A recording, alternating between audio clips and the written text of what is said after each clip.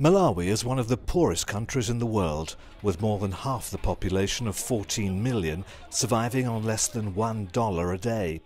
It's also caught in the middle of the HIV AIDS pandemic. Its maternal mortality rate is one of the worst anywhere. Around one in a hundred women die in childbirth, compared to one in 15,000 in the West. About one in eight children die before the age of five, and life expectancy here is a mere 38.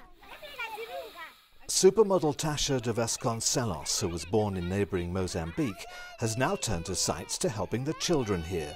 She set up a foundation called Amor, which is already making progress.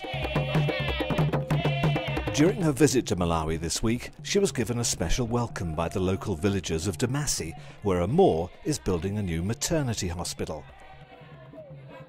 They were welcoming the arrival of a 20 ton shipment of medical equipment and supplies. It's come as a gift from the Princess Grace Hospital in Monaco, where Tasha now lives. The delivery is vital and life saving. Despite the shipment, facilities remain basic. Here in the postnatal room, beds are limited, and this mother was only able to recover on a blanket on the floor just hours after giving birth to her child. The image is shocking to most eyes, but the changes these minor improvements bring are seen here as a godsend. If you go into the um, antenatal ward, there are only like four beds in there, but there are about 15 women sleeping in there and they sleep on the floor.